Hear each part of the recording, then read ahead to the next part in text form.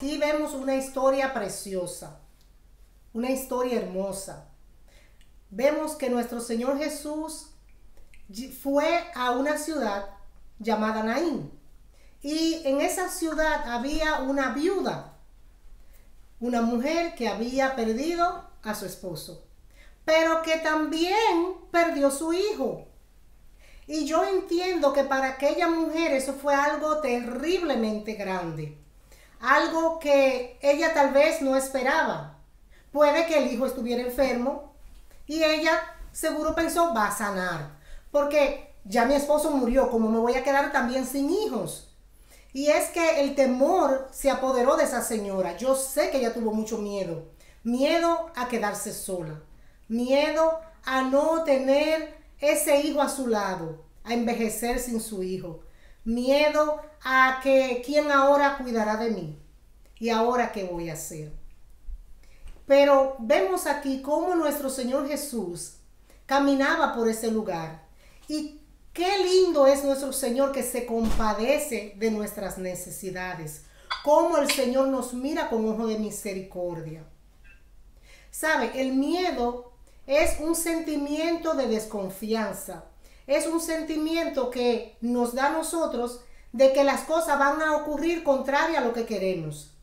Si queremos emprender un negocio, comenzamos a pensar, ay, ese negocio yo creo que no va a funcionar, yo creo que voy a perder mi dinero, yo creo que las personas no van a venir y me van a, comprar mi, mis cosas o, van a apoyar lo que, lo que voy a hacer. Ay, mejor no lo hago. Ahí hay un miedo, miedo al fracaso. A veces también tenemos un miedo y es miedo a envejecer. No queremos envejecer. Nos da ese temorcito de ay, me estoy poniendo cada día más vieja o más viejo. Estoy cada día como sin fuerzas. Ay, ¿cómo será cuando yo esté viejita, viejita? Y tenemos ese miedo a envejecer. Y comenzamos a arreglarnos. Hay personas que se ponen tantas cosas en el rostro, en el cuerpo, que después decimos, Dios mío, pero estaba más linda o más lindo antes de lo que se está haciendo. ¿Qué le pasó? Se desfiguró se puso diferente y es el miedo a envejecer, a no verse bien. También hay un miedo y ese, ese miedo es el, miedo de morir. El, ¿qué va, ay Dios mío, ¿qué va a pasar después de la muerte? No quisiera morir. No sé qué va a pasar conmigo. Y es muy normal eh, tener un poquito de miedo a la muerte por la razón de que no fuimos hechos para morir. Dios nos creó y nos creó para que viviésemos eternamente. Ahora, por la consecuencia del pecado, ya la cosa cambia. Entonces ya nosotros eh, morimos, pero nos queda ese sentimiento de, ay, ¿qué va a pasar? Pero los que estamos en Cristo sabemos que no morimos, sino que vamos a dormir. Estamos en un lugar de descanso cuando nos vamos con el Señor y allí esperamos el momento, ese momento maravilloso que es el momento del Señor, cuando el Señor nos llama a su presencia. ¿Qué pasa? Que muchas veces no tenemos miedo, no, no tan solo a la muerte, sino miedo a la vida. Y ahí la cosa como que, ¿qué? Como que cambia. ¿Tenemos miedo a vivir a, a la vida? Sí, muchas veces tenemos miedo a la vida. Tenemos miedo si vamos a, comprar algo, ya tenemos miedo. Ay, si vamos a comprar un auto, ay, ese carro, ese me funcionará. Mm, sería una buena compra. Tenemos miedo a hacer todas las cosas. Para todo un miedo. Para comprar una casa, un miedo. Eso es miedo a la vida. Un miedo para... Tengo que casarme. Tengo miedo al matrimonio. Es un miedo como cuando las personas eh, dejan plantada a la esposa o el esposo en el altar y ya están a punto de casarse y de repente se manda a correr el novio o se manda a correr la novia. Y ese miedo es el miedo a la responsabilidad. ¿Podré llevar un matrimonio correctamente? ¿Podré ser un buen o una buena esposa, un buen esposo? ¿Seré un padre ideal? Y ese miedo comienza a caminar en la mente ese sentimiento de qué será, qué va a pasar y a correr fanático. Se va el novio, se va la novia y deja al hombre o a la mujer plantado. Y esos miedos que están en nuestras vidas son los que nosotros tenemos que tratar de llevarlos a los pies de Cristo. Esos miedos, esas inseguridades que están ahí combatiendo con nosotros. Y tenemos que pedirle al Señor que nos dé confianza ¿Por qué? Porque cuando hay confianza, hay fe. Y el miedo se va. ¿Por qué? Porque la fe es la que hace que creamos que las cosas que no vemos van a ser posibles, van a ser ciertas. Porque la fe es la certeza de lo que se espera y la convicción de lo que no se ve.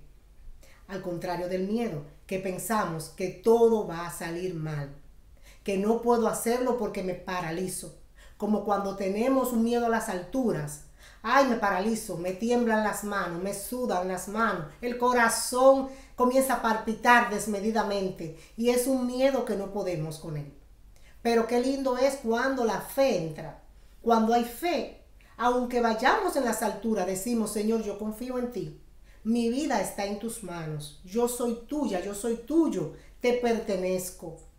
Y el Señor nos da esa paz esa confianza, esa seguridad que tanto necesitamos. ¿Por qué? Porque el perfecto amor, dice la palabra, que echa fuera el temor. ¿Por qué? Porque cuando el Señor viene a nuestras vidas, todo cambia, todo miedo se va, toda preocupación de qué va a pasar en el futuro se va. Cuando el Señor llega a nuestras vidas, Él nos da seguridad. Y cuando está esa seguridad, ya nosotros sabemos que no es nuestra fuerza, que no es lo que pensamos, que no es lo que hacemos, que es nuestro Señor en nosotros. Y ahí nosotros caminamos como el búfalo, con fuerza, con energía, con vigor, porque sabemos que el que está con nosotros es el que nos ayuda, nos ayuda a avanzar, a permanecer firme en lo que queremos. Ahí llega la firmeza, la confianza. Ahí llega la seguridad. En las manos del Señor estamos seguros, firme en el Señor. Ya se va el miedo a la soledad, ese miedo a que, ¿qué va a pasar si me quedo solo, sola? ¿Qué va a pasar el día de mañana? Eh, ¿Cómo están las cosas? No sé qué va a suceder. Ese miedo, el miedo tal vez a, a, la, oscuridad. Ay, cuando está oscuro, bueno, cuando éramos pequeñitos, yo no sé si a ustedes les llegó a pasar, se apagaban las luces y si se movía algo, eh, eh, el viento movía la mata o movía una ropa que estaba tendida fuera de la casa, uno sentía que era el monstruo que venía y se movían las manos y eran la ropa. Y, pero como uno estaba pequeño, ¡ay, qué miedo! Ya uno se quedaba temblando ese miedo a la oscuridad. Y ese miedo muchas veces se queda con nosotros ya de adulto. El miedo al futuro, a, el miedo a, Dios mío, ¿qué voy a hacer mañana? El miedo a te seguiré sirviendo, seguiré siéndote fiel, seguiré tus pasos, tus huellas, tus pisadas, seguiré en el camino del Señor, me apartaré del Señor. Ese miedo que quiere venir al corazón para traer ansiedad, para traer preocupación, en el nombre de Jesús, hoy lo reprendemos, lo echamos fuera. Y en el nombre de Jesús declaramos la palabra de fe, de confianza, de seguridad, de esperanza en el Señor. ¿Por qué? Porque si el Señor está con nosotros, ¿quién contra nosotros? El miedo no puede con nosotros. ¿Por qué? Porque el Señor está con nosotros. Y esto lo vemos aquí. Cuando vemos que el Señor va a este lugar, y ve la situación. ¿Cuál era la situación? Bueno, una viuda que había perdido su hijo, que ya se le había ido toda esperanza, ya quién la podía ayudar, quién la podía socorrer, estaba dentro de un féretro, ya iba camino al cementerio, ya toda esperanza había estado, ya estaba perdida. ¿Qué podía ella esperar? Pero cuando llega Jesús a aquel lugar, cuando Jesús se acerca a ella, cuando la mira, él ve una necesidad. Ella llora. Y, ella, él le dice, no llores. La necesidad de ella era de volver a abrazar a su hijo. Su esperanza estaba puesta en ese joven. Y el Señor le dijo, no llores. Y va al féretro y toca el féretro. Y el joven se pone de pie, se incorpora, habla. Y él lo coge y se lo da a su madre. No solo le dice, ok, ya, tuviste vida, me voy. No, Jesús no es así. Él es un padre amoroso. Agarró al joven y se lo dio a su madre. La felicidad de nuestro Señor fue ver a esa madre abrazar a su hijo y ver ese hijo, ese hijo besar a su madre. Ver cómo esa familia se unía nuevamente y esa mujer volvió a tener felicidad, volvió a tener vida, volvió a tener esperanza, esa confianza. Yo sé que la fe de ella creció grandemente ¿Por qué? Porque ver a mi Jesús haciendo un milagro de esta manera en mi vida. No, no, no, no, no. Yo sé que esa mujer desde ese momento fue una misionera. Comenzó a predicar en ese lugar, en todo lugar que se paraba y a decir, Jesús levanta, Jesús restaura, Jesús sana y Jesús da vida. No importando que mi hijo estaba muerto, lo levantó y le dio vida. Y hoy mi hijo está conmigo. Y eso el Señor quiere hacer con nosotros hoy. El Señor quiere decirnos que no importando cuál sea la necesidad, cuál sea el problema, qué es lo que ataca nuestra mente, cuál es el miedo, ese monstruo que está ahí paralizándonos, deteniéndonos, evitando que avancemos, evitando que lleguemos, evitando que terminemos lo que ya comenzamos ese monstruo. El Señor está hoy aquí para decirnos, no temas, yo estoy aquí, yo te ayudo. No llores más. Amén. Yo estoy contigo. Y así como Dios resucitó a ese joven, puedes resucitar tu hogar. Puedes resucitar tu vida. Puedes resucitar lo que esté muerto en el hogar. No importando que está muerto, Dios lo resucita. ¿Por qué? Porque para Él no hay nada imposible. Dios es el mismo Dios de ayer, de hoy y de siempre. Para Él no hay imposibles. Él lo único que nos pide es fe. Fe. Solo fe. Si hay miedo, hay ausencia de fe. ¿Por qué? Porque estamos siempre pendientes en lo negativo, en que no va a pasar, en que qué es lo que, está, qué va a pasar mañana, en que no voy a poder hacerlo, no lo voy a lograr, tengo miedo, tengo pánico, tengo temor y no puedo.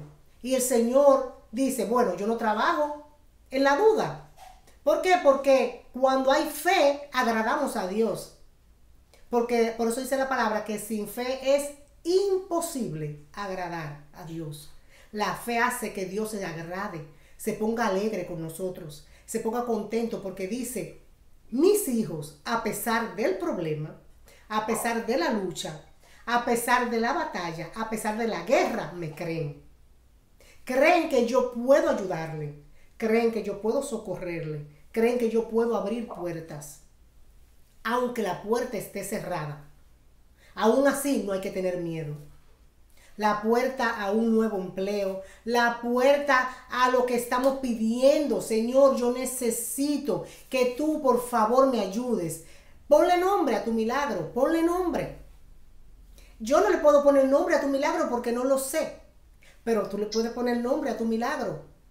Señor, eso es lo que yo quiero. Ahí está.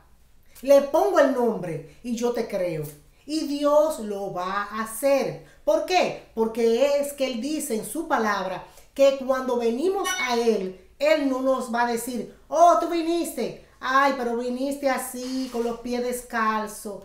Ay, pero viniste sin bañar, no te pusiste ropa nueva, viniste sin peinar. No.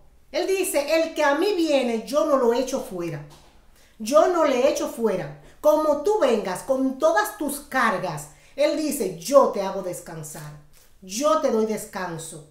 Yo te doy el alimento. Yo te doy el abrigo. Yo te sustento. Yo te doy el pan. Yo te doy la semilla para que siembre y tengas fruto y esos frutos sean abundantes.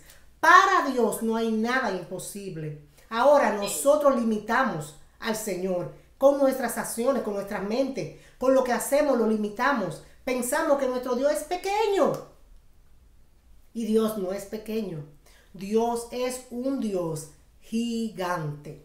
Y así como lo hizo con la viuda, lo va a hacer con nosotros. Cuando Él hizo ese milagro, todos los que estaban ahí se maravillaron. ¿Por qué? Porque la viuda no estaba sola. La viuda no estaba sola. Allí había mucha gente. Habían personas que, llevaran, que llevaban el féretro y habían personas que acompañaban a la viuda. Y todo lo que estaban ahí, yo sé que adoraron y glorificaron a Dios. ¿Por qué lo sé? Porque aquí lo dice. La palabra dice que ellos glorificaron a Dios y todos tuvieron miedo y glorificaban a Dios, diciendo, un gran profeta se ha levantado entre nosotros. Es decir, que cuando Dios obra en nuestras vidas a través de nuestra fe, los vecinos, nuestros amigos, nuestros familiares que no conocen al Señor, glorifican al Señor por lo que Dios hace en nuestras vidas.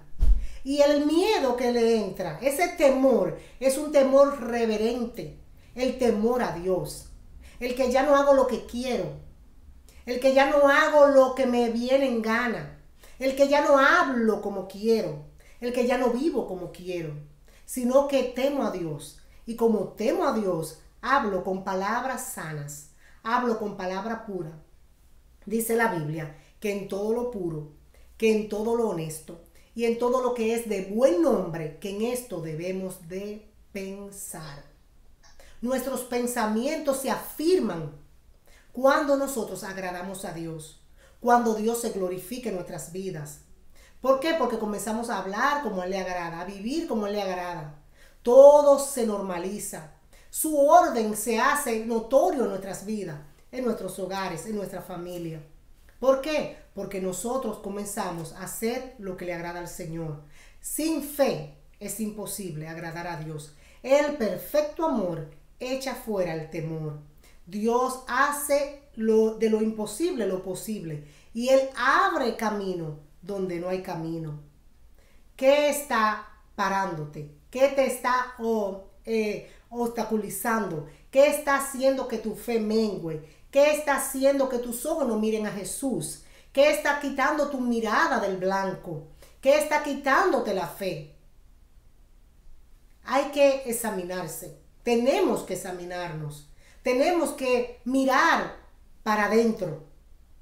Como cuando nos examinamos en el doctor. El doctor mira si estamos bien de la sangre, si estamos bien de la presión, la azúcar, todas las cositas. Cuando nos hacen un físico, lo miran para ver cómo está nuestra salud. Y si hay algo anormal, nos mandan a hacer otro chequeo y a ver cómo está todo para saber que nos van a dar un medicamento, si nos van a decir no coma con sal, no coma con azúcar, mira a ver cómo tú estás alimentándote, no puede tener grasa en el cuerpo, de todas las cosas que ellos saben que nos puede hacer daño, ellos nos dicen, para, todo eso, para que tu salud mejore. Y así es nuestro Dios. Cuando comenzamos a examinarnos a través de la palabra, cuando comenzamos a mirar cómo está nuestra vida, cómo caminamos, cómo hablamos, cómo pensamos, entonces comenzamos a decir, Señor, ayúdame. Ahí comienza la palabra a decirnos, no hable palabra maldiciente, porque no saldrá palabra maldiciente de nuestra boca. No blasfeme, no maldiga al que te maldice, al contrario, bendice, porque fuiste llamado para ser bendición. El Señor ahí nos va diciendo todo lo que estamos haciendo mal. Si vestimos de una manera inapropiada, nos dice, no vista así, viste decorosamente, porque para eso lo puse en la palabra, por algo lo escribí en la Biblia, que tenemos que, que vestir decorosamente, que tenemos que vivir en este mundo sabia, justa y piadosamente. Es decir, que cuando comenzamos a examinarnos, la misma palabra nos va hablando y nos va diciendo cómo debemos de caminar, cómo debemos de actuar, cómo debemos de conducirnos. Porque la palabra del Señor es una lámpara, es una lámpara que alumbra nuestros caminos. ella nos alumbra para que no tropecemos, para que no resbalemos, para que no caigamos en un abismo, en un hoyo. La palabra del Señor es la que nos alimenta para que estemos fuertes. Y ya la comida no va a ser una comida chatarra, una comida llena de grasa, va a ser una comida limpia, sana, va a ser una comida que nos va a alimentar. Por eso la palabra del Señor es todo lo que necesitamos. Ella tiene todo lo que necesitamos. Ella es nuestra luz, ella es nuestra salvación. Por eso no tememos a nada. La palabra del Señor es clara y la palabra del Señor es la que nos dice que cuando clamamos al Señor, Él nos va a responder. Pues dice la palabra que vengamos a Él, que Él no nos, va, no nos va a echar fuera. Si tocamos la puerta, la puerta será abierta. Si clamamos, Él nos responde. Si pedimos, Él va a darnos conforme a lo que Él le place darnos, porque recordemos algo, que Dios contesta conforme a su voluntad, no la nuestra porque muchas veces le pedimos algo al Señor, pero no es lo que necesitamos, sino lo que queremos. Y Dios siempre nos va a dar lo que necesitamos, porque Él siempre llega justo a tiempo. Pues, ¿qué más le puedo decir? Dios le bendiga, Dios le guarde y hacia adelante en el Señor. Amén.